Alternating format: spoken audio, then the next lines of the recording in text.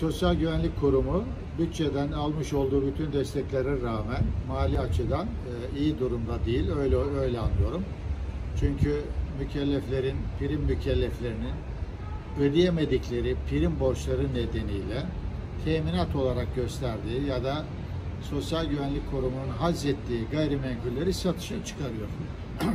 bir yandan prim borçları nedeniyle yeniden yapılandırma yapılırken öte yandan böylesi bir ekonomik kriz süreci içerisinde, pandemi süreci içerisinde vatandaşların, esnafın göstermiş olduğu ve Sosyal Güvenlik Kurumu'nun hazzettiği gayrimenkullerin satılması asla kabul edilemez.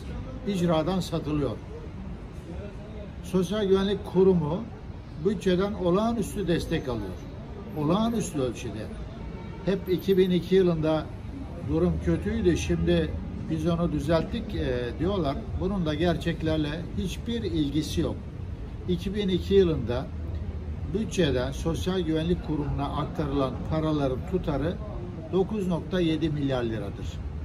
Bu rakam bugün 249 milyar liradır. Doğru ölçü bunları milli gelire oran olarak ifade etmektir.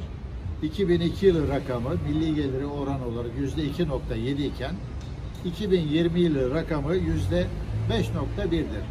Bütçeden bu kadar destek alınmasına rağmen maalesef e, hala vatandaşın prim borcu nedeniyle ödeyemediği prim borcu nedeniyle onun gayrimenkullerini hazredip satan bir sosyal güvenlik kurumu var.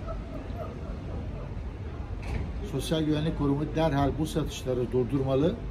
Vatandaşın prim borçları nedeniyle kendilerine bir fırsat tanımalı, bir ödeme planı sunmalıdır.